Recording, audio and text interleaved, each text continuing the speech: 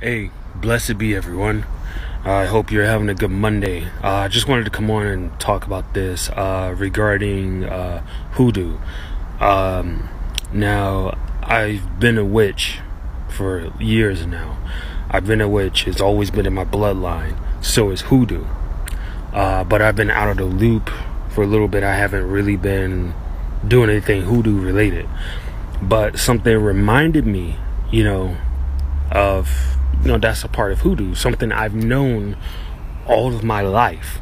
I had no idea that i knew this naturally all your life. It was amazing how things that we grew up as little ones that we knew in in our instincts in our dna but we never actually uh, actually knew why why we did this so i found out in hoodoo when somebody is sweeping right somebody sweeping the floor you cleaning the floor uh, there's everything we do every day is magic. That's first and foremost. You know, even something as simple as sweeping the floor can be magic. It can be healing. It can heal your spirit. When in hoodoo, when you're you're sweeping the floor, right? You're sweeping away bad negative energy. You're sweeping away because we carry so much crap in us. So when someone sweeps your feet, mm, that means you effed up. Uh, some you know they can take away your your blessings. They can take away your good luck.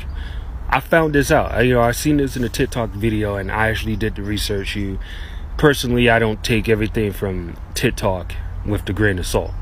You know, I don't take everything as gospel as regarding TikTok, but I actually did my research, and it's true. Um, in hoodoo, when someone sweeps your feet, uh, is that means they're they're is disrespectful. They're taking your your blessings and stuff away. Personally, I find it disrespectful. Ever since I was a little, I was a little kid. I was a little bear cub. You know, whenever my grandmother would sweep the floor, she would accidentally sweep my feet.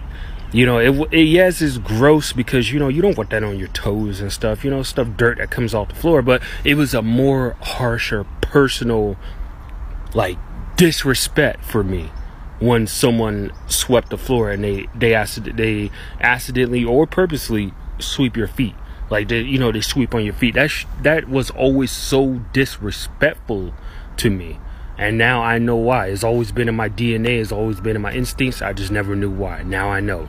And blessed be. Have a good week. Remember, you are loved. And uh, take care, enchanted ones. Malleous with Paranormal Ursidae. Peace.